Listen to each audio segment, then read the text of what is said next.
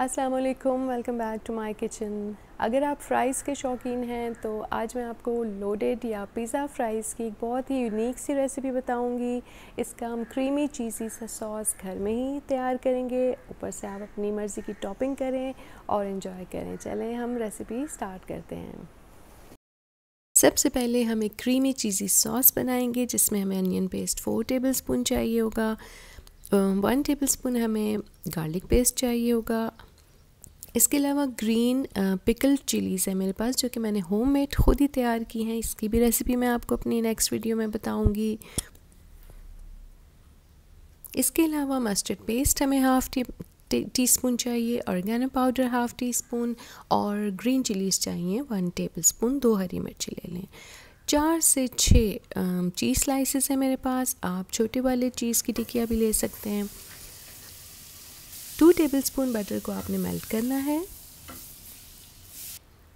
जैसे ही मेल्ट हो जाए, आपने इसमें अनियन पेस्ट ऐड कर देना है और हल्का सा इसको हमने सौते करना है। बहुत ज़्यादा देर नहीं पकाना है। थर्टी सेकेंड्स के लिए आप इसे पका लीजिए। इसके बाद इसमें गार्लिक पेस्ट ऐड कर दें। इसको भी हल्का सा चंद सेकंड्स के लिए सौते कर दें। ग्रीन चिलीज़ ऐड कर दें। और अब हम इसमें मिल्क ऐड करेंगे, जो कि हमारे पास वन कप था। अच्छी तरह से इसको मिक्स करें। थोड़ा सा बॉईल आने दें इसको आप। अब इसमें हमने जो हमारे पास चार से छः चीज़ स्लाइसेस हैं, वो आपने इसमें ऐड कर देना है। मैंने येलो वाले चीज़ लिए हैं, इससे बहुत खूबसूरत सा कलर आ जाएगा। और अब इसको आपने हल्का हल्का हिलाते हुए इसको मेल्ट करना है।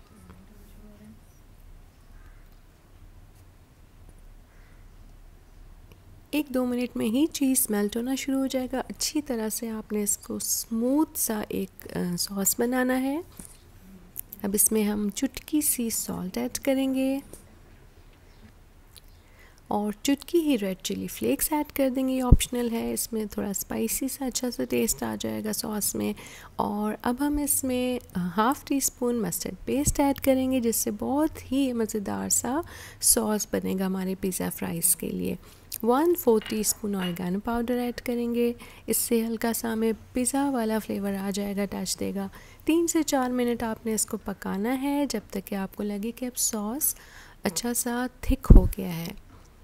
और अब हमारी सॉस तैयार हो चुकी है, इसको हम एक साइड पे रख देंगे। एक और सॉस हमने बनानी है two tablespoon hot sauce और six tablespoon pizza sauce के साथ। ये बहुत ही मज़े की स्पाइसी सॉस बनती है और इसको हम पिज़्ज़ा फ्राइज़ के साथ ही इसके अंदर मिक्स करेंगे। अब आती है बारी फ्राइज़ की और मैं यूज़ कर रही हूँ यहाँ पर फ्रोज़न फ्राइज़ मैंने घर के फ्राइज़ में भी ये रेसिपी बनाई हुई है। आप चाहें तो घर के यूज़ कर लें या फ्रोज़न यूज़ कर लें। अच्छे से गोल्डन ब्राउन होने तक हम फ्राइज़ को कुक करेंगे और इसको आप निकाल लीजिए अब।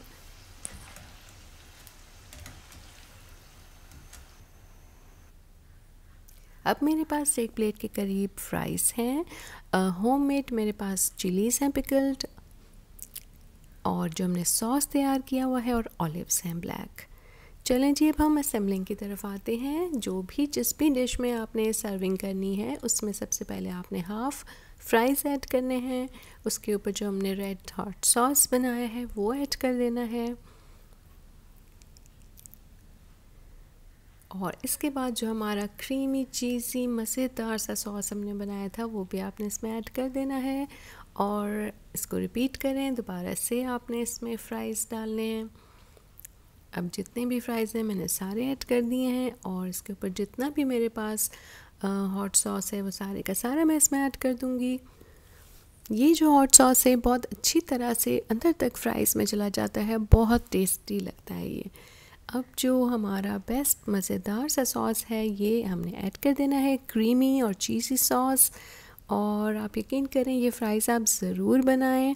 आपके फ्रेंड्स आ रहे हों या घर पे ही आप बनाइए और आप देखें कितने अच्छे लगेंगे आपको। इसके ऊपर आपने ऑलिव्स गार्निश कर देने हैं और जो मेरे पास होम मेड पिकल चिलीज़ हैं, इसको भी आप इस पर लगा दीजिए।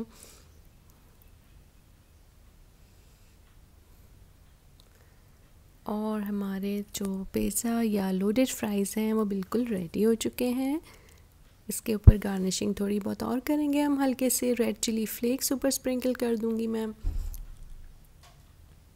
आप ये ज़रूर ट्राई करें और बताइएगा कि आपको कैसे लगे फ्राइज़ उम्मीद है आपको आज की रेसिपी बहुत अच्छी लगी होगी। अल्लाह हाफिज़।